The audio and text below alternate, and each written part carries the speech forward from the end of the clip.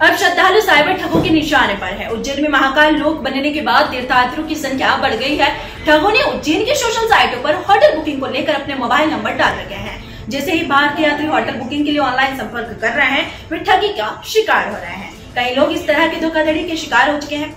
ये दो घटनाएँ उदाहरण है कि ऑनलाइन होटल बुकिंग के दौरान सोशल साइट पर दिए मोबाइल नंबर पर भरोसा न करें, क्योंकि ये ठगों के हैं। लोगों को धोखाधड़ी पता चलता है, तब तक ठग अपना नाम बदल लेते हैं। व डाटा डिलीट कर देते हैं। कई लोग तो शिकायत करने के लिए सामने ही नहीं आते। ठग इसका फ़ायदा उठा रहे हैं। उत्तर प्रदेश, गाजियाबाद, निवासी धीरज शर्मा ने 17 से 18 नवंबर के लिए महाकाल क्षेत्र में होटल बुकिंग के लिए सोशल साइट आरोप सर्च किया।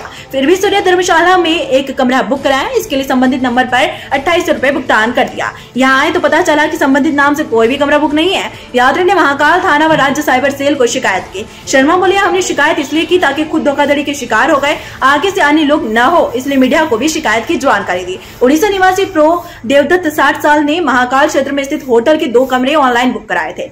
इसके लिए नौ हज़ार का ऑनलाइन भुगतान संबंधित नंबर पर कर दिया था। यहाँ तो पता चला कि उनके भी नाम पर संबंधित होटल में कोई कमरे बुक नहीं है।